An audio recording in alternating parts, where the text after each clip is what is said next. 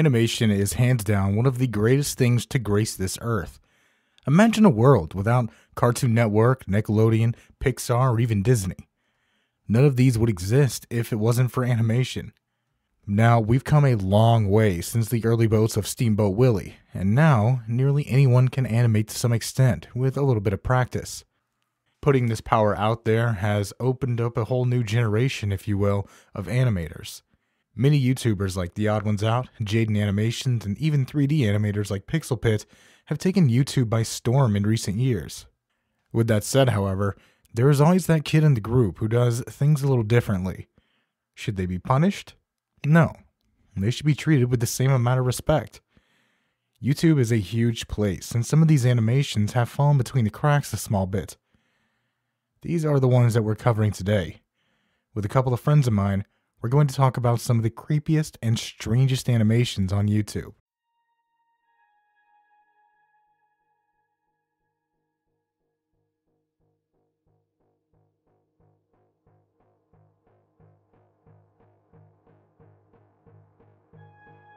Our first entry isn't just one video, but rather an entire channel that seems to focus around 3D animations of disabled women. Some notable titles are Deformed Polio Legs Girl, Disabled Legs 3D, and Disabled Legs Fetish Bar. Now, when I first ran across this channel on the subreddit deep into YouTube, I didn't want to believe that it was anything more than a strange abandoned channel. However, if you take a trip into the About page of the channel, we find that it is exactly what I was hoping it wasn't. The website Devotee 3D is a site dedicated to a few strange things 3D animations of disabled or amputee women, women with hairy legs, large butts, and so much more. The large block of text on the front page is Russian. Running it through Google Translate gives us a little more context. I won't recite the whole thing, rather, I'll pull the key phrase. The phenomenon of devoteeism is a fairly common phenomenon in society. Devotee find a person with externally expressed physical defects, amputation, paralysis, lameness, underdevelopment, etc., more attractive than healthy. And the girls can be both men and women. As I said at the beginning, I'm in no way bashing anyone for their animation ability or what they decide to animate. I just have to say that this is easily one of the strangest phenomenons I've ever seen. I searched up Alex Janarovsky on Google, but nothing came back relating to this site or his YouTube channel.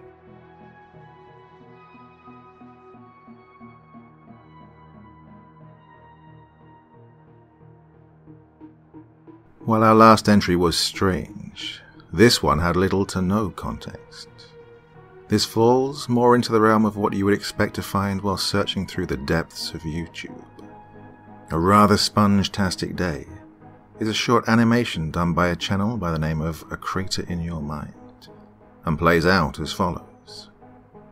SpongeBob knocks on Squidward's door. When Squidward comes out, he only has one eye and asks SpongeBob, in that all too familiar text to speech tone, what it is he wants now. SpongeBob claims that he has something to show him, and they quickly make it over to the city where we're met with this scene. I'm just going to give you a minute to take it all in. A short time after they show up, SpongeBob explains that they needed a sacrifice for our Lord and Saviour. Squidward tries to put up a fight, but SpongeBob throws him onto the pentagram, and then this, this thing, comes up from the ground. It eats Squidward whole, while he screams out in pain and in fear. SpongeBob then claims that he loved him like a woman before he seemingly melts as the video comes to an end.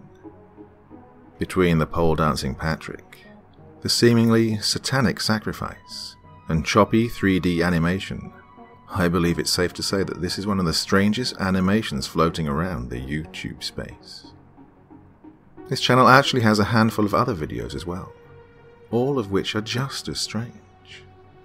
One of my personal favourites is Woody's Room. I'll play a small snippet of that now.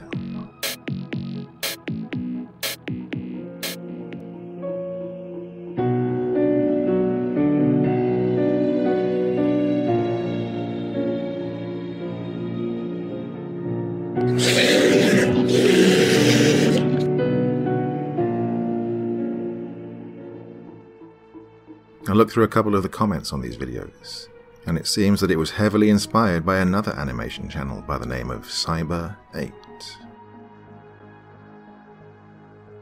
Family Boy is easily one of the strangest 35 seconds you will ever spend on YouTube. The video was uploaded four years ago by a channel named Adrian Brody. He has a handful of other animations on his channel, however, this one was the strangest to me. In the short time it takes to watch it, you'll be subjected to a crudely drawn Peter Griffin walking about his living room, calling out names of friends and family. Not too strange, really, but it's the things that flash across the screen that make this video so off putting. As it plays out, you will first see a smaller Peter Griffin with a different face appear over the main one for a split second. The face seems to be in pain and looks stretched out and distorted.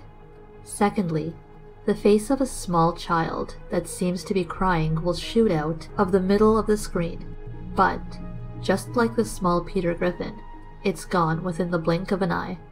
Possibly the most disturbing one from the whole video comes next. The video goes black, and then Peter's face pops up for a few frames.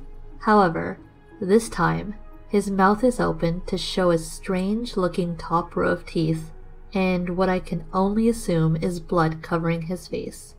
Finally, we're shown a still image of what looks like an office building. I have no explanation for that. Now, this video is one of those that has no real context. Our previous entries seem to have a purpose, or were at least inspired by something. This one just kind of exists. Sure, there are other videos on the channel, but this one is like the black sheep. With that said, the top comment on the video seems to have cracked the code behind this video. YouTuber user BagelBoy shared his insight. Peter oddly seems to call out names, as if he's being told about them by the shallow voices in his head.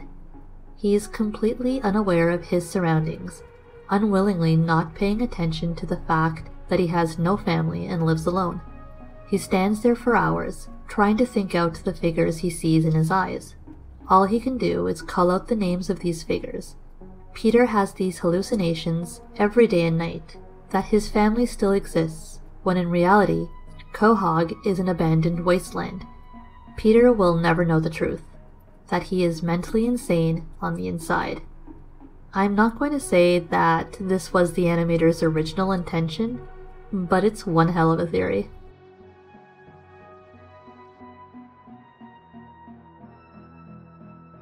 Did you really think we'd get through this list without an entry from Japan? Enter Utsu Musume Sayuri.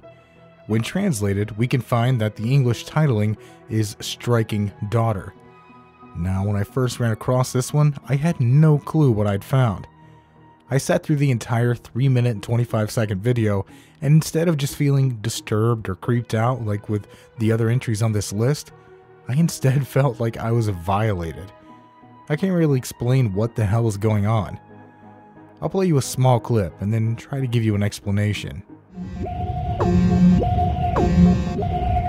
Please strike me here on my butt. Strike here, strike here, and here. Please.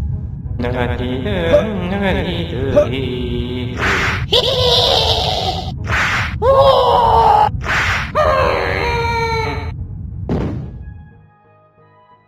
So, believe it or not, I was actually able to find some context for this uh, creation.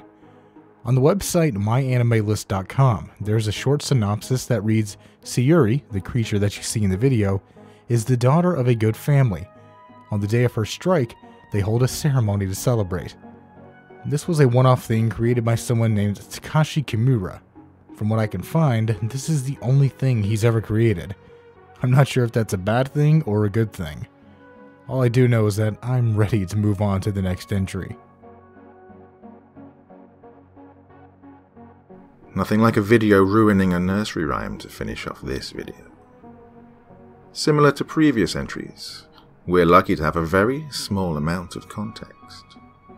The uploader, someone by the name of John Andrew, explains in the description as Mary struts her stuff and busts dance moves, her faithful lamb follows behind. While that statement is true, there are a few things wrong with the video itself. Firstly, Mary looks more like a young boy. Now, I'm not saying it is, but it could just be a bad 3D model. But there is one other strange thing about the video. That's the music itself. Sure, it's the song Mary Had a Little Lamb, but it seems slowed down or pitch shifted, giving it a very ominous feel.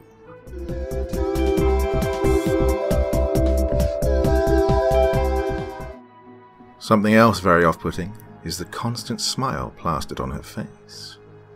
When she looks at the camera, I actually feel uncomfortable. If you venture down into the description, you can find a link to the animator's site. However, it seems it hasn't been updated in quite some time.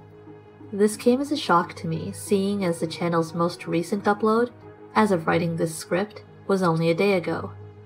All that video consists of is a cat talking about how he loves to sit by a space heater.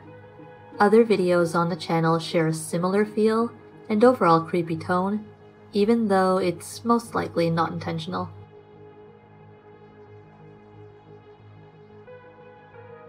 I want to give a huge thanks to the two awesome creators who helped me out today. Dr. Creepen and Pink Spooky, thank you so much for your help. It was a great honor to work with such talented people.